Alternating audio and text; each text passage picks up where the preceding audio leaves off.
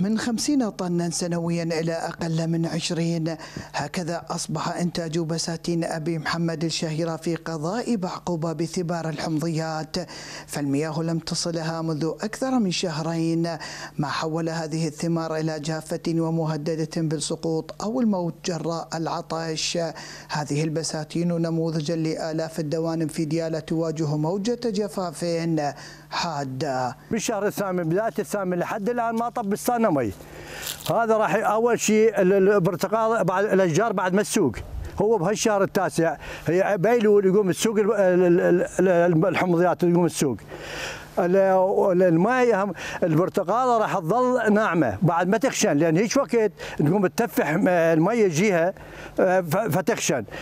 كانوا عندنا وارد قبل يعني البستان تطلع لها بال 50 طن أكثر هسه يعني 20 طن مثلا يعني التأثير أثرت 60% مشحة المياه. تقدر الإنتاجية من الحمضيات للعام الماضي بثلاثة وثلاثين ألف طن وبعد شح المياه والأمراض التي أصابت الأشجار قد لا يتجاوز إنتاج هذا العام خمسة عشر ألف طن أي بتراجع بلغ نسبته خمسين بالمئة عن الأعوام السابقة التي كانت تغطي احتياجات المحافظة من الحمضيات.